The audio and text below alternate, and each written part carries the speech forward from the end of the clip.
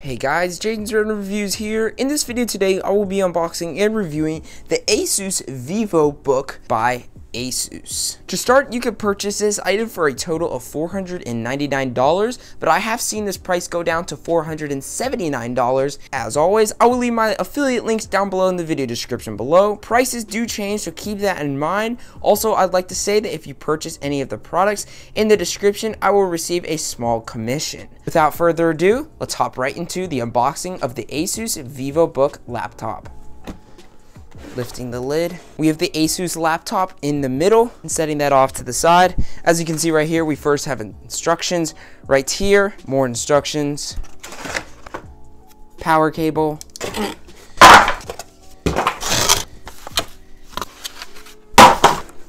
And there you go, we have the three items with the Asus Vivo book. We have the laptop, the power cable, and the instruction manual. So the packaging is very short and simple. Now let's go take a look at the laptop as well specs and other details to know about the Asus VivoBook. To begin, this is the Asus VivoBook 15. It is equipped with a 15.6 Full HD display with an AMD quad-core Ryzen 5 3500U. It has 8 gigs of DDR4 RAM, a 256 gigabyte SSD, and an AMD Radeon Vega 8 graphics.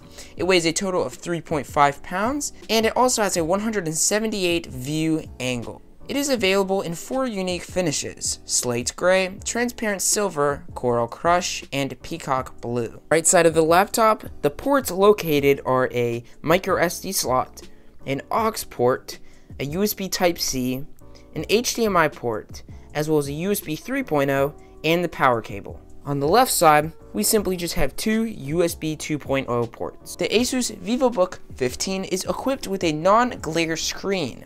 On other laptops, they typically have a soft or glossy looking screen, which allows for much more glare, but with this laptop, that is not the case. The keyboard has a nice feel to it. The keys aren't too tall, they're not too small, they're just the right size, where it's easy to press down with your fingers and easily press the keys in and out. It also is back with, with a LED which also makes the keys pop out, which is a very cool feature to have as well. Now the touchpad itself has an invisible left and right click. They are located at the bottom of the touchpad. The touchpad is very responsive and I personally love the feel that the touchpad has. The screen itself has good coloring to it, good saturation, and overall the clarity of the screen on the Asus VivoBook 15 is very clear and easy to see. Now the main question is, is this laptop worth under $500? Typically laptops that are under $500 have some sort of either performance loss or just a capability that you don't receive, such as not a big hard drive, or maybe the CPU isn't as strong, or not as much RAM. But in this case, we are equipped with a strong CPU and 8 gigs of DDR4 RAM, as well as a 256 gigabyte SSD.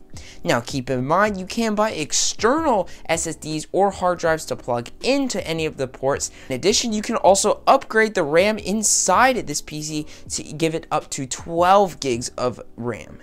Now overall my experience with this laptop has been absolutely amazing. I recommend it if you're maybe a college student and you want the Windows application and don't want to settle for a Chromebook because to be honest I've never been a huge fan of Chromebooks. I'd rather have the capability that the Windows software has built into most computers that Chromebooks don't have.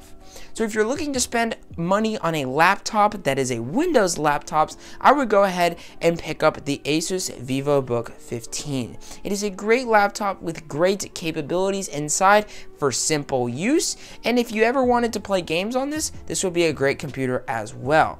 Now, while it does have a Radeon Vega 8 graphics card in it, you're not going to be seeing insane amounts of graphical power with this computer, but with the strong Ryzen 5 CPU, you will see good graphics in game. So I hope you guys did enjoy this video and found it helpful to you guys and gave you guys a little idea on what this laptop is all about. If you did go on and to enjoy this video, don't forget to leave a like on the video, as well as comments if you have any questions about anything. Thank you so much for watching, and I will see you guys in the next video.